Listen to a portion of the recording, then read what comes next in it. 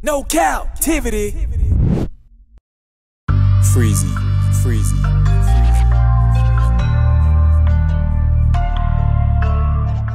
What up? You are officially locked in to No Captivity with Freezy, where we tackle issues that sometimes have us trapped in this thing that we call life. But if you know me, you know my motto. To free yourself, you must heal yourself. Let me hear you say it. To free yourself, you must heal yourself. And if you're rock with your boy Freezy, please hit the like and subscribe button hard right now. And also comment and share this video. That is if you rock with your boy Freezy. Today we got a lot to cover. A lot has happened to Jamie Foxx, Jackie O, and Tavi Baddie. But before I get started, I just want to talk about something that's really been on my mind and been on my heart, especially all these freaky chain of events. Now, I don't know if y'all thinking the same way I'm thinking, but it's a lot of weird shit been going on. Now, y'all already know, I believe in the man above. And I also believe that the times that we living in, if you ain't spiritually protected, you out here naked. This one here for the thug. I'm sorry. It's just too much going on. Is anybody else thinking the same way I'm thinking? Leave it in the comment section. And I'm not even talking about with celebrities, just personally. People I know around my way, or just regular people across the nation. The tone of this world shows evidence of the wrath of God all over the damn place. Now, if you're an atheist, this might not be for you. But y'all know I get words of wisdom from the Most High at the end of every show. So this shouldn't come as a surprise to none of y'all. No captivity.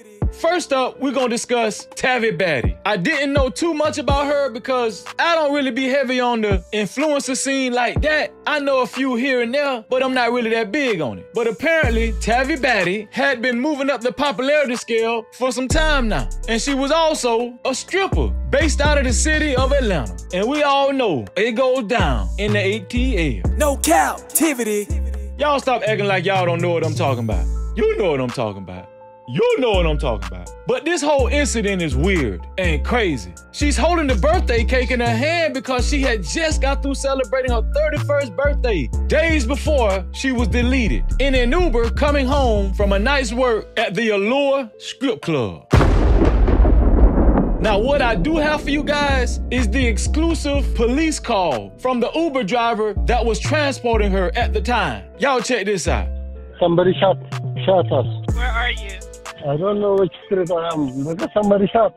Someone shot at your car? Uh, no, somebody shot in my car. I was, I'm, driver. Hey, listen, I need to know where you are. Lindbergh, Lindbergh. Lindbergh and what? Piedmont? Yeah. Somebody shot, somebody killed in my car. Okay, listen, I need to know where you are. Are you at Lindbergh and Piedmont? Lindbergh and the Adina. Okay, hold on. I'm gonna put the ambulance on the line. Hold on. Okay. Grady EMS, operator 992. What's the address of your emergency? Hey, emergency? Grace, Atlanta. He said he's at Lindbergh Drive and Adina Drive. Sir, are you saying someone is inside your car shot or you- you- your car is shot? No, some no somebody in my car is shot. Okay, the person, is they breathing? Uh, yeah, I see some breathing. Do you have it yet, Grady? Lindbergh Drive and Athena Drive. Someone shot in his car. This one for the thug. Now, apparently at the time, the Uber driver said that Tavi was still breathing a little bit. But by the time the paramedics got there, she was already pronounced deceased at the scene. No captivity. Now, according to the reports, as the Uber driver was driving, some assailants pulled up beside him, got out, and showered his Escalade truck with over 20 shots. And miraculously, the driver did not get hit, not one time. But unfortunately for Tavi, she did not survive the attack. But what was the reason for the attack? What was the reason for these people making it their business that they took poor Tavi Baddie out? These questions have not been answered, even though this incident is under full investigation. So y'all pray for Tavi's family and friends that this tragic episode doesn't remain unsolved. Now up next we have one of Wild 'N Out's family members, Jackie O. Now, Jackie O was the girlfriend of DC Young Fly, and they had just had a baby not too long ago. According to reports, they met on a set in 2015. So they've had a long standing relationship, which makes it more heartbreaking how this young lady lost her life. Wild 'N Out star Miss Jackie O, the partner of DC Young Fly, dies at 32. And it reads The MTV Wild 'N Out star reportedly died in Miami, where she had traveled to undergo a mummy makeover surgery, according to a since deleted social media post. Her cause of death is not yet known. No captivity. And last but not least, the most peculiar happening of them all Jamie Foxx. Now, Jamie Foxx has been in the news quite frequently, following him working on another movie. Now, I've heard all kinds of stuff surrounding Jamie Foxx and what's been going on with him. First, I heard he went to a police station and he was claiming that somebody was trying to kill him. And later on, that person was allegedly supposed to be P. Diddy. This one here for the thug.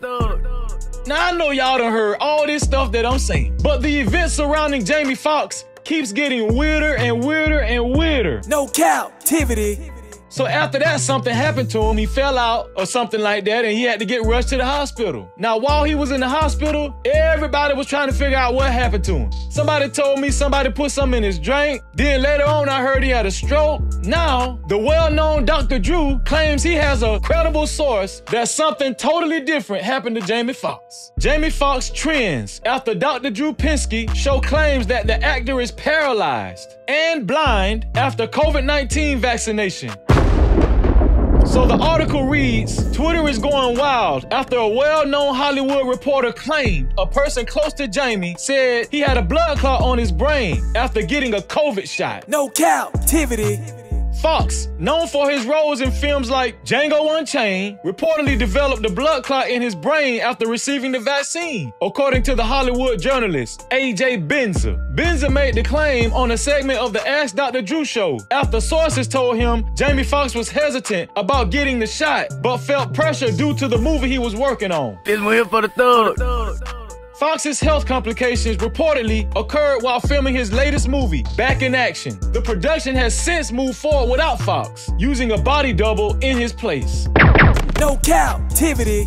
So I'm gonna play some of this video so we could possibly get more details on what happened to Jamie Foxx. It, it seemed to me you I saw something. Yeah, I saw something about Jamie Foxx that you had mentioned, and we can get into that in a few minutes. But and I don't know what happened to Jamie Foxx, but I thought to myself, wow, he can't even tell us what happened, lest somebody should think it's something that's not uh, right with the narrative. Now, why can't they tell what happened to Jamie Foxx? Why is the incident surrounding Jamie Foxx's health condition so secretive? Y'all gotta ask these questions. Well, I think most people in Hollywood are, are on the left anyhow. So yeah, they they toe that line. They don't give any indication about vaccinations. They stay away from that. There's a there's a code of silence in Hollywood right now, and it's been that way for the last couple of years, where they're just not going to talk about the vaccination. They're, they're staying away from that hot button topic. But we all know, any one of us who've done some shows in the last three years or appeared on camera, COVID tests were mandatory. You couldn't work without them. You couldn't go on a set without them. There might have been a couple of instances where they allowed it, but by and large, No, no, they were they to- were ridiculous. So if you're in Hollywood and you signed a contract for millions of dollars, even hundreds of thousands, to be able to fulfill that contract, it was mandatory that you got a COVID shot. Now we've all heard conspiracy stories when it comes to these celebrities. We've heard about the sacrifices and we've heard about the Illuminati. We've heard a lot of stuff. Now I myself think it's very peculiar for me to be forced to take a shot that for one, I'm unsure of. And for two, I'm at the mercy of who's ever administering it and possibly the wicked industry that I'm in. I think that this ties into the Jamie Foxx theory. I, I worked my butt off to get a story about why what happened to Jamie Foxx because it was all baloney what they were reporting. He's playing pickleball. He's uh, responding on Instagram. No, he's not. People do that for you. It's all lies. I had somebody in the room who let me know that Jamie had a blood clot in his brain after he got the shot. He did not want the shot, but the movie he was on, he was pressured to get it. This movie he's doing with Cameron Diaz. And I'm thinking, is that why he blew up on the set a week before this medical emergency happened? Is that why he fired three or four people because he just had had it with these mandates? I don't know. But what I found out from the man in the room was that uh, the blood clot in the brain caused him at that point to be partially paralyzed and blind. Now, I don't know about y'all, but to me, it seems like Mr. Benza is being pretty candid right now. Now, why they tried to hide this, I don't know, but it just doesn't sit right. What y'all think? Because if you read into what they were saying early on, he's communicating with us. That doesn't mean talking. That could be anything. It could be, you know, writing, yeah. sign. You know, I know those little code words. And then when you tell me your father's playing pickleball, give me a break. Uh, you know, I don't know. There's a great shroud of secrecy around Jamie Foxx. He's probably the most multi-talented person we have in Hollywood. Um, but even TMZ is not reporting this, and I know TMZ's got sources in hospitals who give them information, whether it's legal or not. That was a good point. If TMZ is not rushing to report on something like this, it could very well be an inside job that's heavily connected in the industry that Jamie Foxx is in. Let's go home, y'all. So, what really did happen to Jamie Foxx? Did he have a stroke? Was somebody actually trying to take him out? Or was Mr. Benza telling the truth? Will we ever find out? I don't know. But one thing I do know, I'm gonna stay close to the most high above. Because in these wicked days and times, there's no telling what can happen or what will happen to anyone or anybody. No captivity. It's always a good time to seek some words of wisdom from the most high above. Oh, there you go. He came to us from Isaiah 41 and 10. Fear thou not, for I am with thee. Be not dismayed, for I am thy God. I will strengthen thee. Yea, I will help thee. Yea, I will uphold thee with the right hand of my righteousness. So let's stay covered, my no cap crew. To support stories of this magnitude, of this importance, please send your cash out to dollar sign freezing 1976. And also, the PayPal information is listed below in the description. And I promise you, all sponsors will be recognized. And make sure you like, share, and subscribe to my channel. No captivity with Freezy. No captivity and hit that notification bell as well so you can be put up on all the latest updates that we release. And like I always tell y'all, to free yourself, you must heal yourself. And until the next time, we out of here.